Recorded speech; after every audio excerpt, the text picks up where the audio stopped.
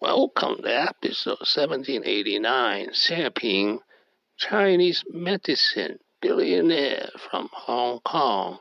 Nine lessons. This is an outline of episode 1789, lesson 1 to 5. It's lesson 6 to 9.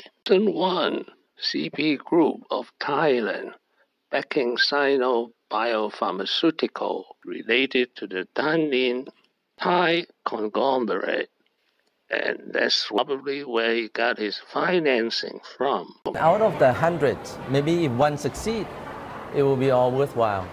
And it doesn't mean that the 99 that fail do not deliver values. And two, he has very little education. Very little education. I don't think he finished high school. And three, his three benefit principles. 有这样的今天也是 我们公司有自己的文化，就是商业政策要做到对国家有利、对人民有利、对我们公司有利。Lesson four: His goal is to build an international brand. Here he talks about how to take advantage of the age of internet and age of multinationals. Grow an international brand and make use of China's resources in natural medicine. And five, most of his employees are doctors. 我们有现在已经发展到有一千多个研究人员，有一万多个销售人员，里边大部分都是医生。我们的 Six, grow by acquisitions.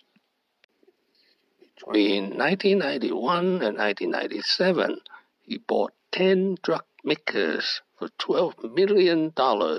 Lesson 7. Make use of local talents for research and drug discovery. 最强的生产企业，因为是这个欧美的生产商、机械的制造商都找我们，都跟我们研究新的发展。呃，我们都是用完以后才在中国进行推广。 8. Stepping down. In 2015, he ceded the role as chairman of Sino Biopharmaceutical to his daughter Theresa. In 2022, he stepped down as CEO, and now his company has a new CEO, Dr. Li. Lesson 9. Gift of $3.8 billion to his son. In 2019, he gifted his son Eric Tse $3.8 billion worth of shares. That made Eric Tse an instant billionaire. He was briefly richer than US President Donald Trump. Thank you for watching. Please subscribe and leave your questions and comments below. Wishing everyone peace and prosperity.